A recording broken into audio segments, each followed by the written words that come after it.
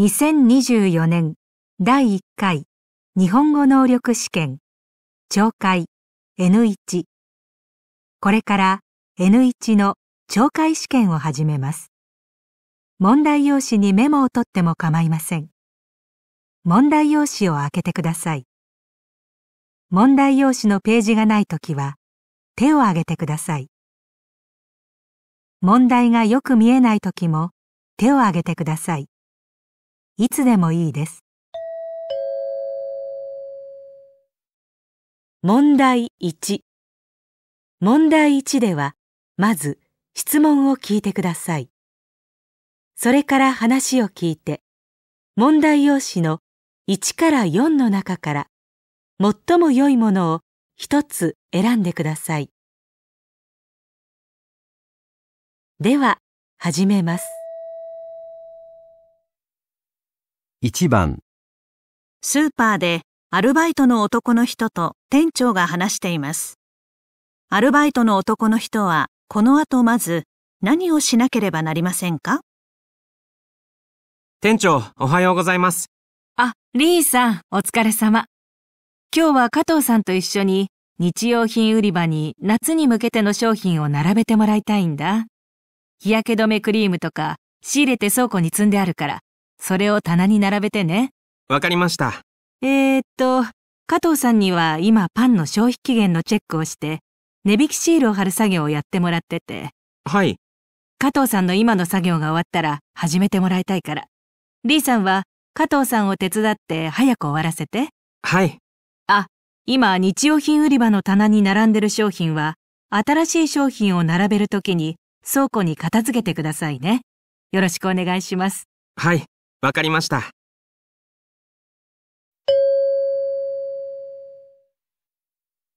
アルバイトの男の人は、この後まず何をしなければなりませんか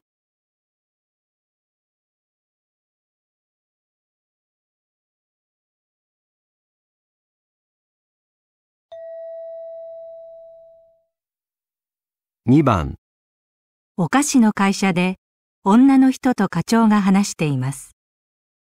女の人は会議の資料をどのように直しますか？課長、明日の会議の資料、新商品、柔らかせんべいのパッケージのデザイン案を表紙に載せました。こちらは高齢者を主なターゲットにした商品です。ああ、資料の表紙に候補のデザイン案を3つ並べてくれたんだね。同じデザインで赤、青、茶の色違いの3種類。赤を大きくしているのはどうして？はい。先週の会議でご報告した通り、ネットで消費者へアンケートをした結果、総合的に赤を基調にした案が一番好評だったということで。そうだったね。総合的には赤が一番好評だったけど、確か年代によって好みが結構分かれてたよね。今回の会議資料、年代別の回答のデータはどこに載せてある？商品説明の後です。ああ、グラフも載せてあるね。グラフの色ははっきりしてて見やすいと思うよ。パッケージは、ターゲットの高齢者には赤より茶色が人気なんだ。会議でもみんなの意見を聞く必要があるから、そうだな。この最初の3つのデザイン案、大きさに差をつけないでおいてもらえるかな。わかりました。年代別の回答のデータは資料の順を入れ替えて商品説明の前で見せても良さそうだけど、とりあえずはこのままで。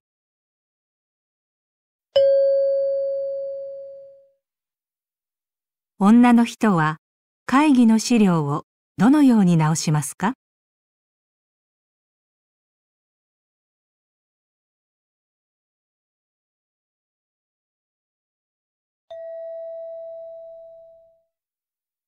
？3番カバンの会社で男の社長と女の人が話しています。女の人はこの後、まず何をしますか？村田さん、職人の井上さんから連絡あった？制作をお願いしている革バッグの納期が遅れてるよね。はい。先週お電話ありましたけど、指先を怪我してしまって作業に時間がかかるって。そう。早く良くなるといいね。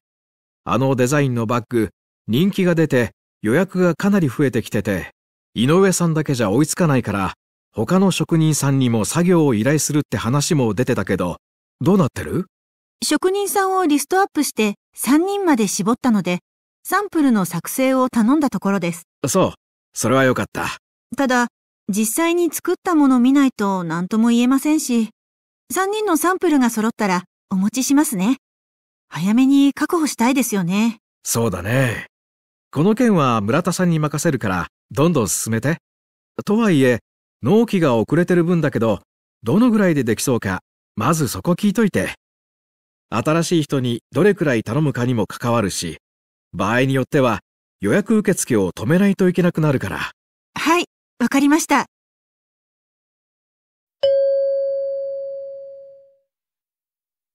女の人はこの後、まず何をしますか？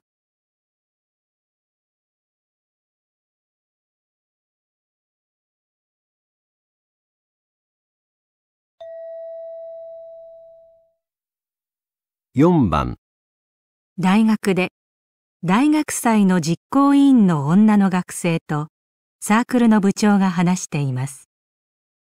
サークルの部長は企画書をどのように修正しますか？すみません。大学祭実行委員の加藤です。このサークルはお祭りにラーメン屋を出しますよね。えー、ご提出いただいた出展の企画書ですが、修正のお願いに来ました。はい。私が部長の吉田です。吉田さん、企画書、責任者のお名前が抜けてました。こちらでお名前記入しておきました。すみません。それから、費用のところを確認してください。あ、はい。材料費の詳細、肉とか野菜とか、もう少し具体的に書いてください。そうしないと大学から補助金が出ませんよ。調理方法の説明はそのままで結構です。あ、それと、当日の第一希望の場所は正門の近くになっていますが、希望が多いと抽選になります。場合によっては第二希望に回ってもらいますが、よろしくお願いします。はい。わかりました。今週末までに出してください。はい。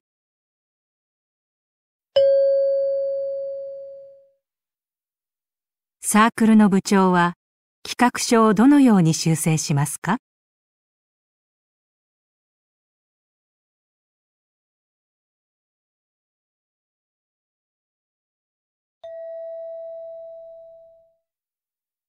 ？5番、海の体験学習のイベントで係の人が話しています。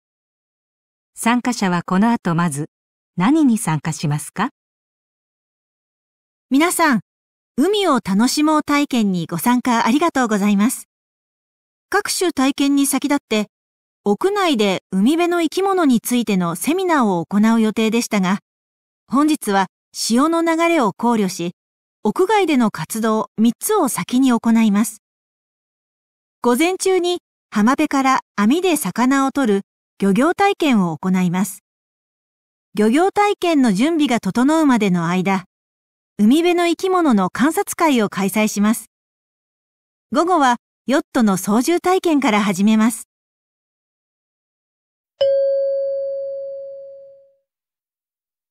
参加者はこの後まず何に参加しますか？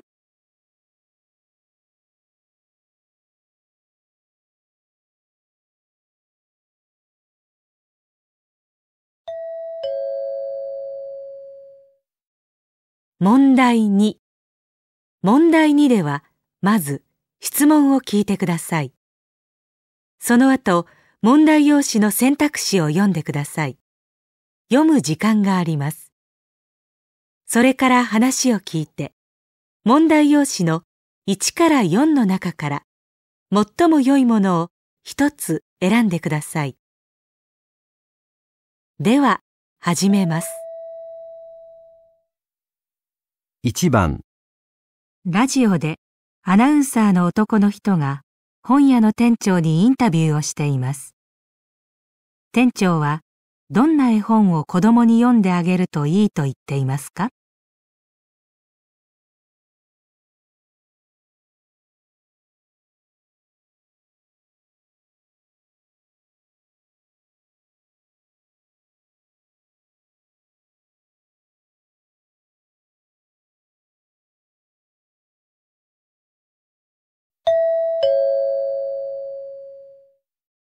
絵本専門店の青井書店の店長、高橋さんにお話を伺います。絵本といってもいろいろなものがありますが、どんな絵本を子供に読んであげたらいいでしょうか？そうですね。子供の年齢や好みを考えたり、何がいいか悩みますよね。教育効果が高い絵本や、長い間読まれている名作の絵本を読んであげるという方も多いと思います。私は親自身が読んで面白いかどうかということに尽きると思います。親が楽しみながら絵本を読んで聞かせることで、子供自身も本に興味関心を持つようになるのではないでしょうか。そうですね。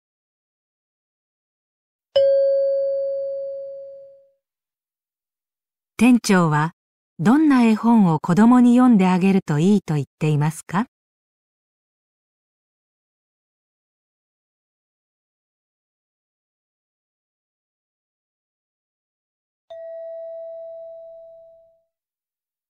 2番、会社で女の人と部長が話しています。部長は試作品をどのように変えた方がいいと言っていますか？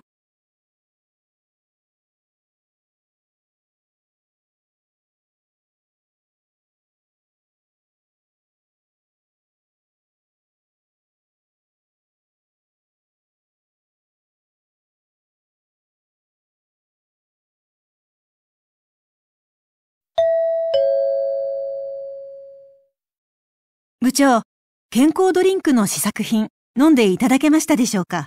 飲みました。試作品の説明も読みましたよ。今まで若い人をターゲットにしたドリンク商品は多かったけど、高齢者向けに開発したっていう点、斬新でよかったと思うよ。ありがとうございます。高齢者が手軽に栄養を取れるよう、飲むタイプにしました。うん。クッキーのような固形タイプは、高齢の方だと食べづらかったりするからいいと思うんだけど、一回で飲む量としては少し多い気がしたんだけど、どうかな？そうですね。一日で必要な栄養を摂取できるよう、他社の製品と比べると、容量が多くなっています。一度に飲みきれない場合があるかもしれないから、キャップで締められる容器に変えたらどうかな？確かに、そうですね。もう少し甘い方が好きな人もいるかもしれないけど、個人的にはこれぐらいの甘さの方が飲みやすかったし、いい商品になると思うから頑張ってね。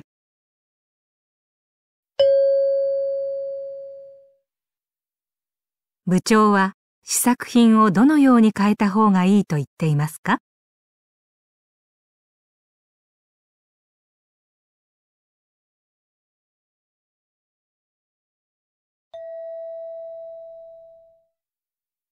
？3番、カルチャーセンターで男の人と受付の女の人が話しています。男の人はどの講座を見学しますか？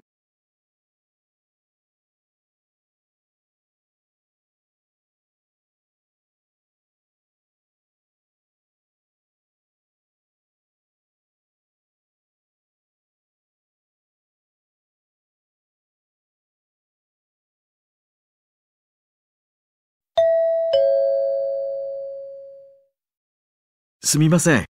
絵を習いたいんですが、水曜日、絵の講座は何かやっていますか？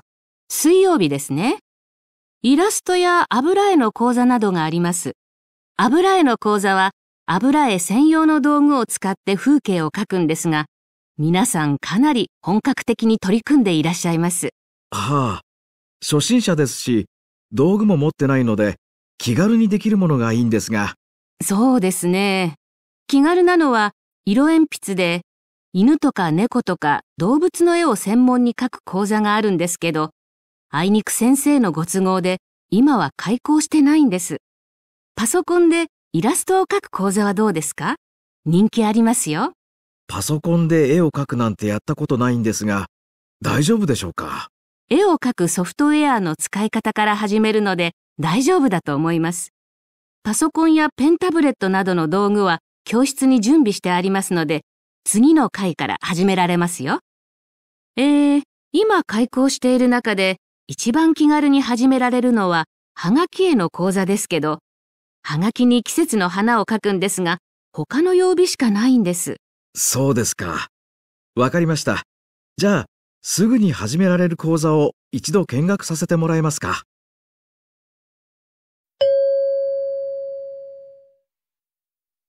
男の人はどの講座を見学しますか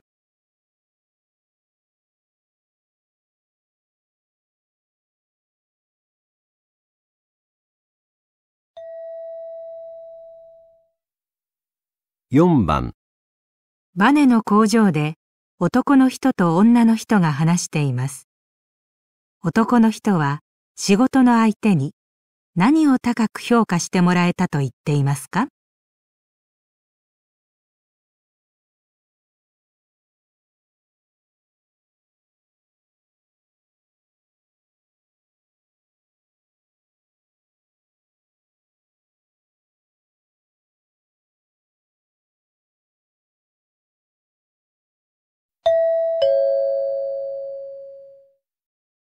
北山工業にソファーのバネ、納品してきました。お疲れ様です。反応どうでした？北山工業さんの急な要望に対応できたこと、高く評価してもらいましたよ。おかげで、他の部品の試作品も作ってほしいって言ってもらえたんです。それは良かったです。加工開始日のギリギリで設計を変更して苦労しましたよね。ただ、うちの工場、デジタル化が進んだから、加工にかかる時間は前よりも短くなりましたね。ええ、本当に。予定より早く納品できてよかったですよね。北山工業での品質検査。結果はあさって出るそうです。品質についても評価が高いといいですけど。そうですね。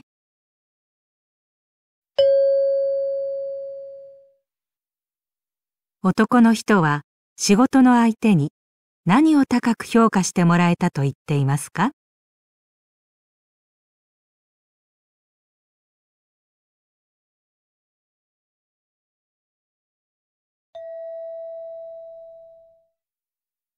5番、会社で男の人と部長がある宣伝動画について話しています。部長がこの宣伝動画についての分析で一番重視しているのは何ですか？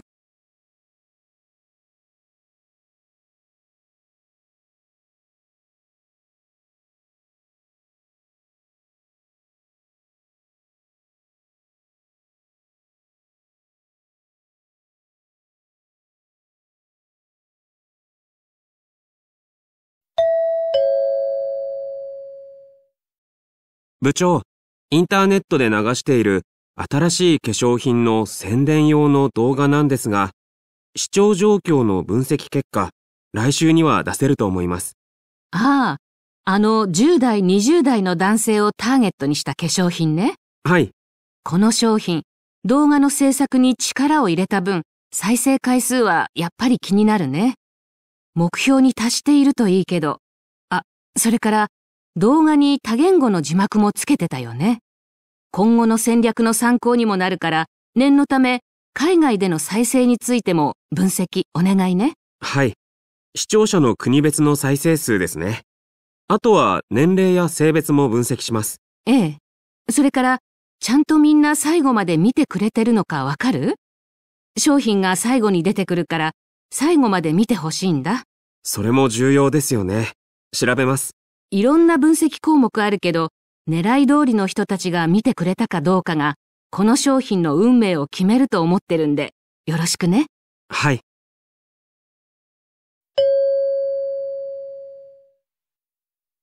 部長がこの宣伝動画についての分析で一番重視しているのは何ですか？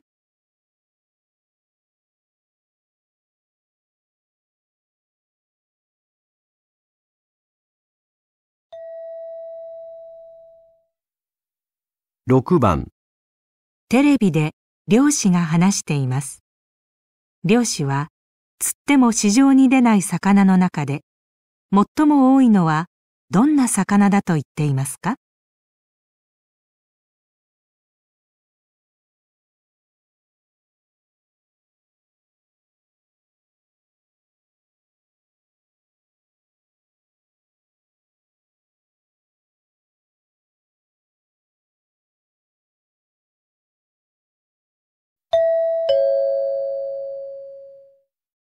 漁師が釣っても市場にあまり流通しない魚があります。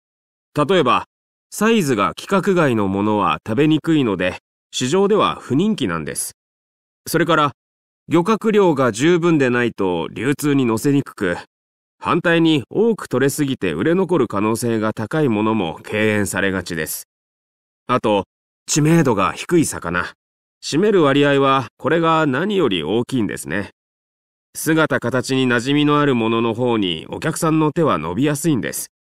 また、トゲがあって調理が面倒なものも避けられることが多いです。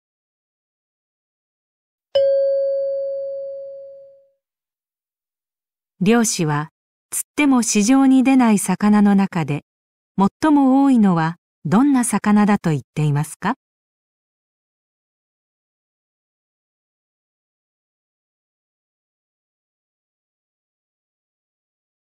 ここでちょっと休みましょう。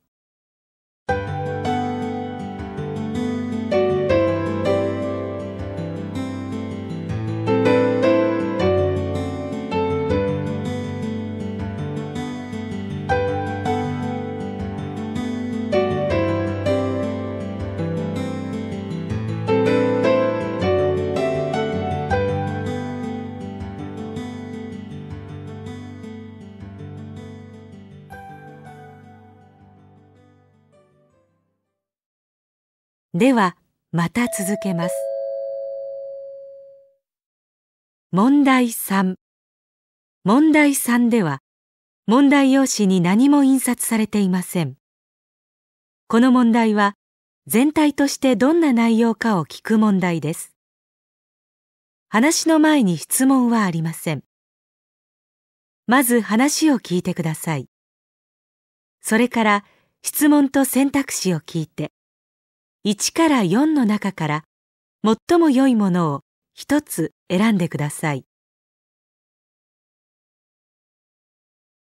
では始めます。1番ラジオでアナウンサーが話しています。大学生の学生寮に注目が再び集まっています。40年前は学生寮に入る人が大半でしたが、だんだんとルールが厳しく息苦しいという理由で避けられ、一人暮らしのアパートの人気が高まりました。しかし、最近の寮は、楽器練習用の部屋など、共用施設を充実させたりと魅力的になっています。寮に入りたいという人が定員を超え、抽選までしている寮もあります。また、食事付き、職員が常駐の寮もあり、初めて一人暮らしをする学生にとっては、いつも頼れる大人がいるという安全面の利点。食事の提供があることも安心感につながっているようです。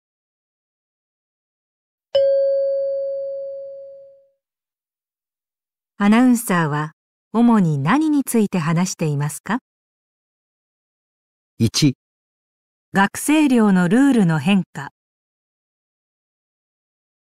2学生寮の人気が復活した理由。3一人暮らしの学生が心配していること。4一人暮らしの学生に人気がある食事。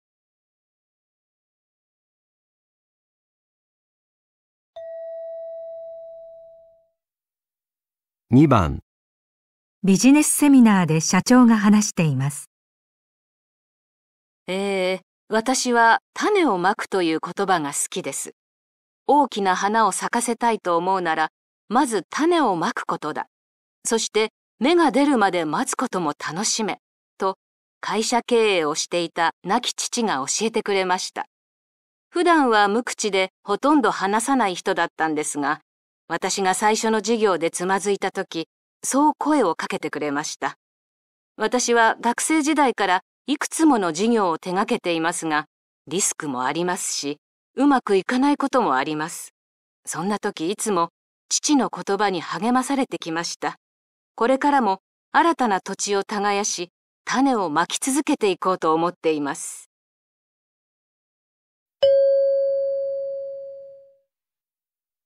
社長は何について話していますか？1、自分にとっての心の支え、2、父から引き継いだ事業、3、起業する時のリスク、4、会社を始めたきっかけ、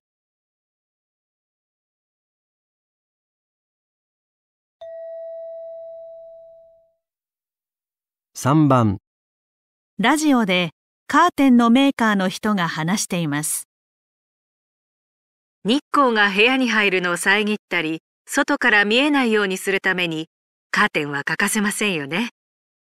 日本では古くから安く手軽に手に入れられる木や紙で作った襖や障子をカーテンのように用いてきました。カーテンが日本で広く使われるようになったのは、西洋的なライフスタイルが始まった昭和30年代以降です。当時の日本は急激な経済成長に伴って団地やアパートなどが次々と建てられるようになり洋風にデザインされた住まいが一気に増えたからですそれ以降カーテンは私たちの生活に浸透しました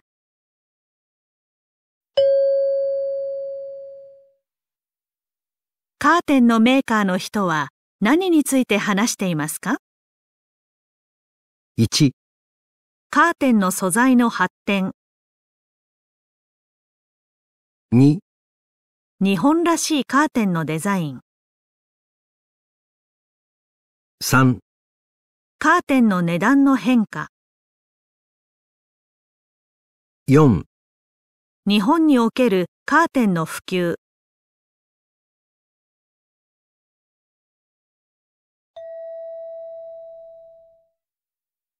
4番、テレビで作家が話しています。私にとって桜町は第二のふるさとです。私の小説の舞台としてこの町の商店街やお寺坂道をしばしば登場させていますが実は私がここで過ごしたのは学生時代の4年に過ぎません。親元を離れて暮らした4年間は実に濃く青春そのものでした。思い出深い場所が数えきれないほどあります。10代、20代を主人公に物語を書くとき、その背景には自然とこの街が存在しているんです。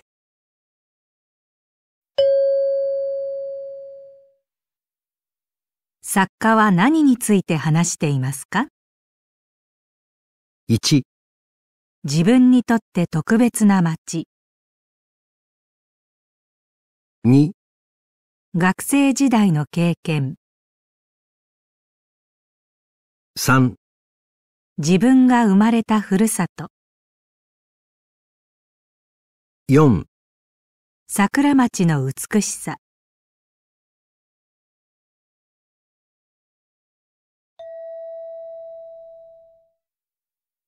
5番、科学館で恐竜の研究者が話しています。10年前、緑市で恐竜の化石が発見されましたが、この恐竜が何を食べていたのか、ということはこれまで分かっていませんでした。仮に植物を食べる植物食だとして、どういう植物を食べていたのか。私たち研究グループは、この恐竜の歯の化石の表面のかすかな凹凸を最新の技術で分析しました。そして、爬虫類の歯と比べたのです。例えば、爬虫類の動物に、虫、植物などを食べさせたとき、歯につく細かい傷は食べたものによって異なります。その違いを分析し、この恐竜の歯の化石の表面に当てはめて考えることで、恐竜がどういったものを食べていたのかを具体的に推測できるようになったのです。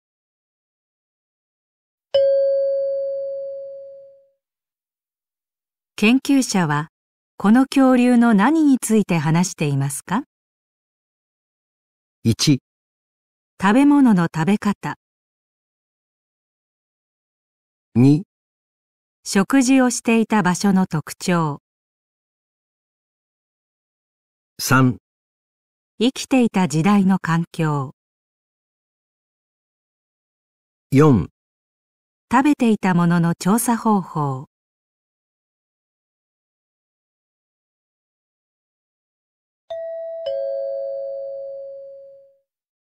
問題4問題4では問題用紙に何も印刷されていません。まず文を聞いてください。それからそれに対する返事を聞いて1から3の中から最も良いものを一つ選んでくださいでは始めます1番、今日の授業のレポート、そう簡単には書けそうもないよね。1、大変だけど、やるしかないよ。2、難しいと思ってないの？3、ほんと簡単で助かるよね。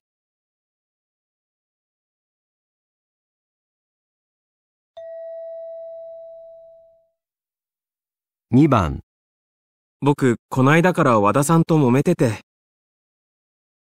1、二人で楽しそうだね。2、仲直りしたんだ。3、なんで？何があったの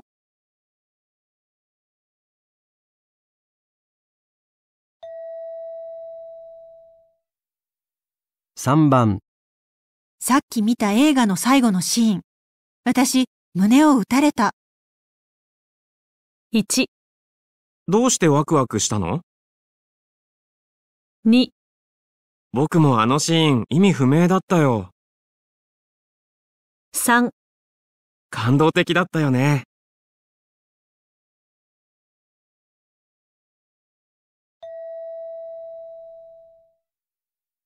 4番、お昼の定食屋で飲んだサービスのコーヒー、飲めたもんじゃなかったね。1、もっと飲めばよかったね。2、確かに、あれは美味しかったね。3、ちょっとひどかったよね。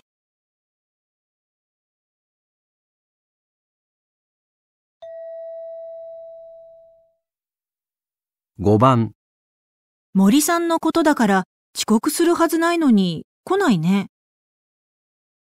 1、いい加減ちゃんとしてほしいよね。2、森さんってよく遅刻するんだ。3、遅れるなんてどうしたんだろ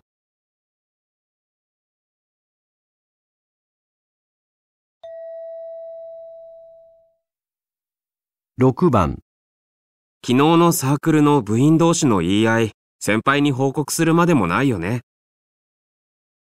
1、先輩に言うんだね。2、必要ないよね。3、報告した方がいいってことね。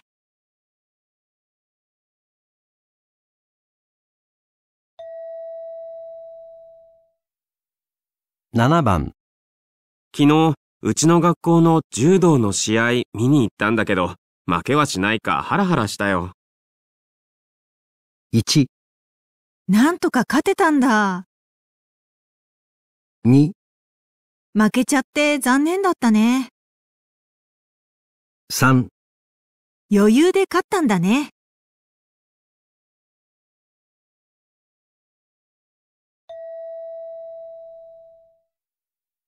8番、課長、桜社への商品説明、私の担当なんですが、ご一緒願えないでしょうか？1、構いませんよ。行きますよ。2、担当者が行かないのはまずいでしょう。3、私が代わりに行くんですね。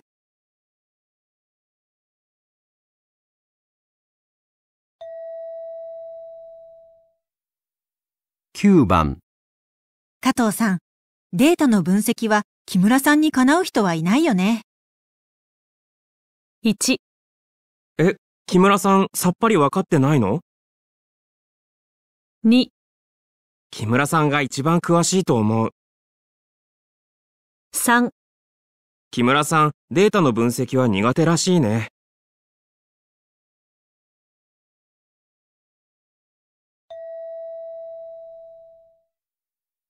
10番、課長に急にイベントの手伝い頼まれたけど、断るに断れなかったよ。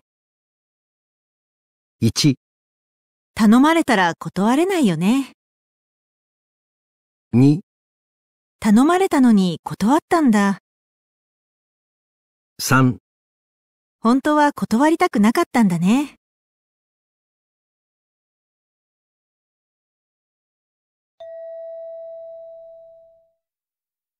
11番、新人の渡辺さん、先月の営業成績、ベテランの課長に迫る勢いだったって。1、課長の成績には全然届かないんだね。2、あと少しで課長を抜くぐらいだったんだ。3、課長を超える結果だなんてすごいね。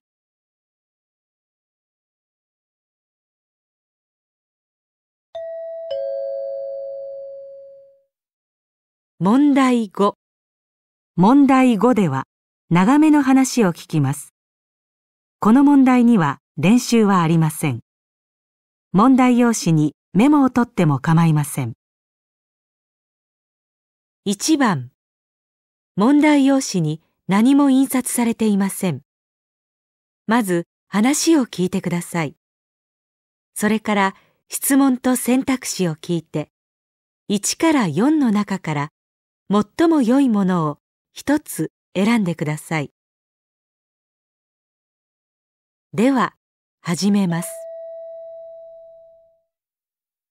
大学の新聞部で部長と部員二人が話しています。来月発行する新聞、野球部の地区大会に向けて特集を1ページ組むことになってるけど、そろそろ内容練らなきゃね。どうしようか。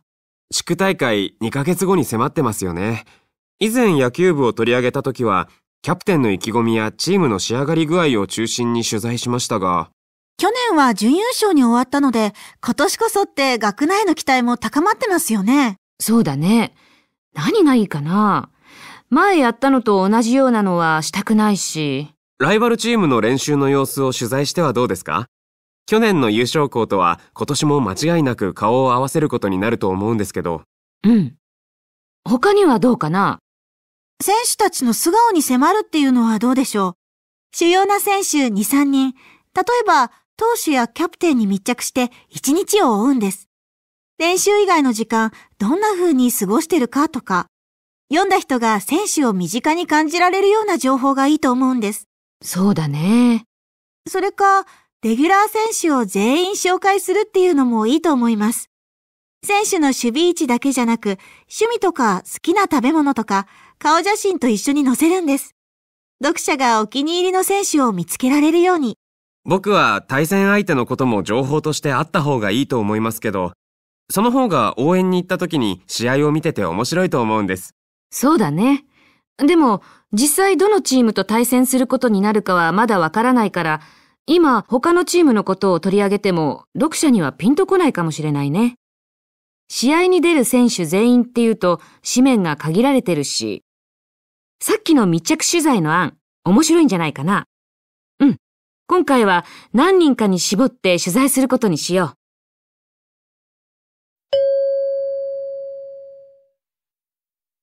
新聞に載せる野球部の特集は何を書くことにしましたか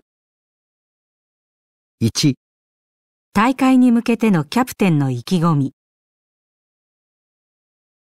2、ライバルチームの練習の様子、3、主要な選手の一日の過ごし方、4、レギュラー選手全員の紹介。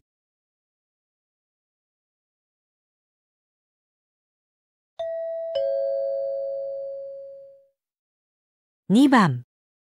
まず話を聞いてください。それから2つの質問を聞いて、それぞれ問題用紙の1から4の中から最も良いものを一つ選んでください。では、始めます。ラジオでアナウンサーが夏の夜空を楽しむ講座について話しています。山川市にある科学館では来月夏の夜空を楽しむための4つの講座を開くそうです。講座1番はオリジナルの星座作り。星空の写真を見ながら自分たちで星をつなぎ合わせて自由に形を作り、名前をつけたり星座の物語を作ったりします。講座2番は星空の撮影。露出時間を長く設定できるカメラと三脚さえあれば、意外と簡単に星空を撮影できるそうですよ。講座3番は、流れ星の観察です。来月中旬は、深夜の夜空に星が降り注ぐ、数年に一度の貴重な機会です。ゆっくり眺めながら、星に願い事をするのも素敵ですね。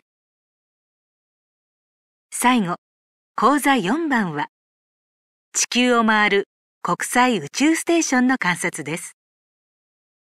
国際宇宙ステーションは実は日没後のある時間、ある方角に肉眼で見ることができるんだそうですよ。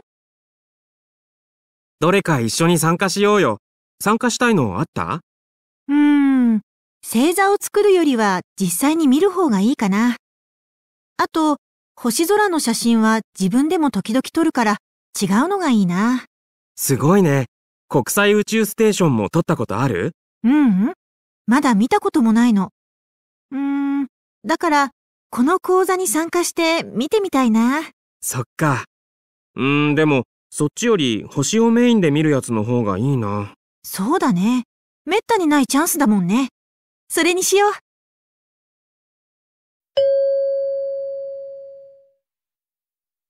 質問1、女の人が最初に参加してみたいと思ったのはどの講座ですか？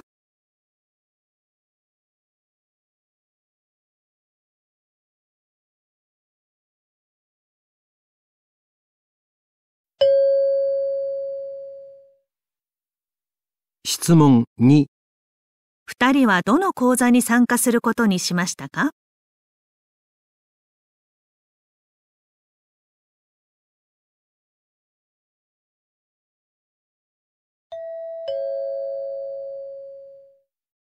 これで懲戒試験を終わります。